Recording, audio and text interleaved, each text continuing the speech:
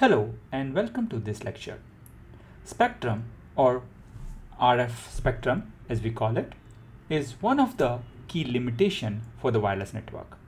Most of our network from 1G network to 2G network they have they were deployed majorly in the range of in the range of 450 megahertz to up to 3 or 4 gigahertz. However, in 5G, we try to experiment with some higher bands, which includes millimeter waves, which is in the range of 24 gigahertz to 100 gigahertz.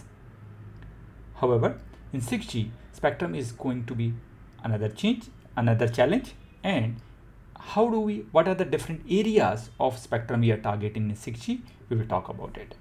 Now, if we look at the spectrums which are already available till 5G were low bands, which is in the range of lesser than 1 gigahertz, or mid bands in the range of 1 to 7 gigahertz, or millimeter waves, which is in the range of 24 to 100 gigahertz band.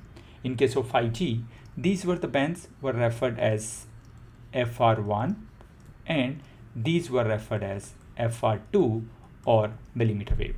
However, we are trying to target some of the other spectrum areas in the 6G network, which includes the bands like upper mid bands, which are 7 to 24 gigahertz, which we have not tried to use in 5G network.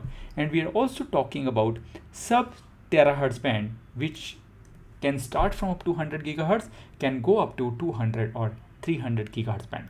A lot of research is going on for the spectrum in 6G area, 6G region and only time will tell what are the typical spectrum which are designed for 6G network.